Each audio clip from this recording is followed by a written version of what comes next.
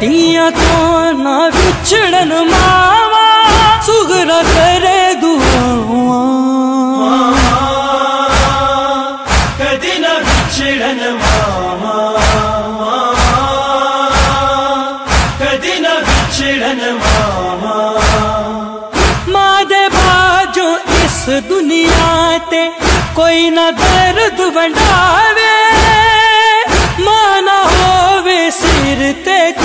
ਜਾ ਕੇ ਨੂੰ ਆਪਣਾ ਹਾਲ ਸੁਣਾਵੇ? ਹਾਏ, ਰਹਿੰਦੀਆਂ ਤੀਆਂ ਦੇ ਬਣ ਕੇ, ਰਹਿੰਦੀਆਂ ਤੀਆਂ ਦੇ ਬਣ ਕੇ, ਸਿਰ ਤੇ ਸੁੱਖ ਦੀਆਂ ਛਾਵਾਂ।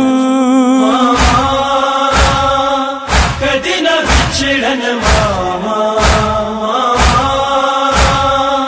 ਕਦੀ ਨਾ ਵਿਛੜਨ ਮਾਵਾ